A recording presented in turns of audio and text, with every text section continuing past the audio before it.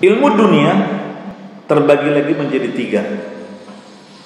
Ada yang fardu ain dan kifayah. Iya.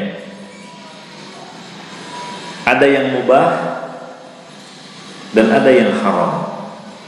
Ini ilmu dunia nih. Apa mau dirinci jadi empat juga boleh. Jadi menuntut ilmu agama ada yang fardu ain, ada yang fardu kifayah, ada yang mubah, boleh-boleh saja, dan ada yang haram.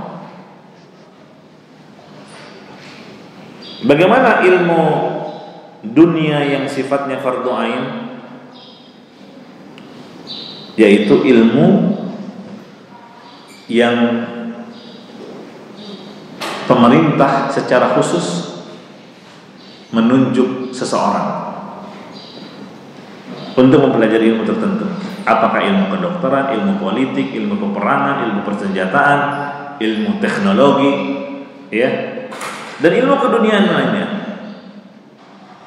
Jadi kalau ada orang yang ditunjuk oleh pemerintah agar dia secara khusus mempelajari ilmu tersebut, maka orang yang ditunjuk oleh pemerintah inilah hukumnya apa?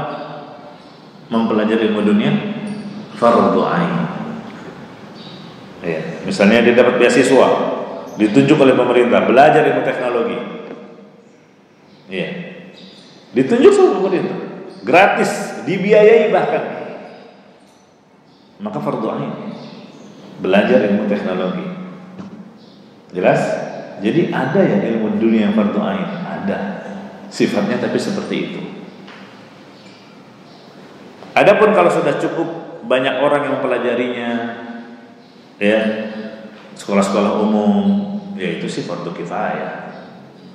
Iya, yang penting sudah ada sebagian dari kaum muslimin mempelajarinya sudah cukup gugur bagi yang lain. Dan itulah kebanyakan ilmu dunia yang ada sekarang ini. Iya. Kalau yang mubah ilmu-ilmu dunia yang jelas manfaatnya jelas manfaatnya. Itu mubah, boleh-boleh saja. Karena dalam perkara dunia pada asalnya boleh.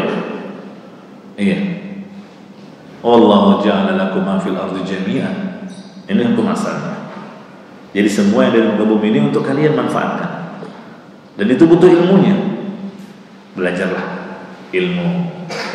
Ya. Mubah. Ya. Terkait dengan herbal misalnya, kesehatan atau terkait dengan hobi ya. Mubah saja. Boleh. Iya.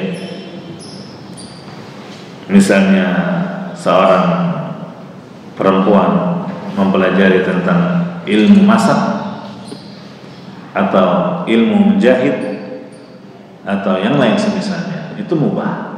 Ada manfaat dan ada ilmu yang haram, ilmu dunia tapi haram. Apa itu?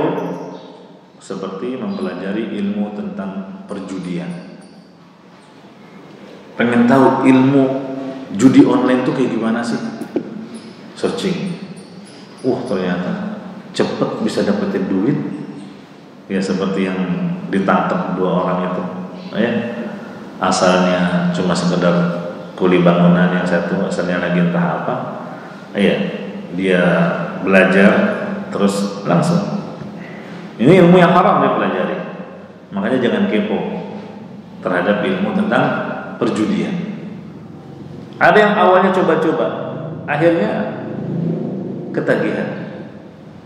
Ini ilmu yang haram dipelajari tentang perjudian.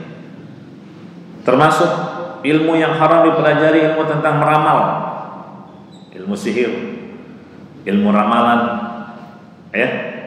Dan yang semisalnya ini adalah ilmu-ilmu yang haram. Jelas?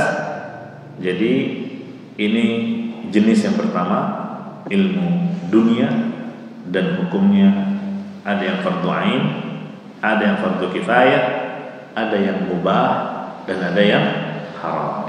Jelas?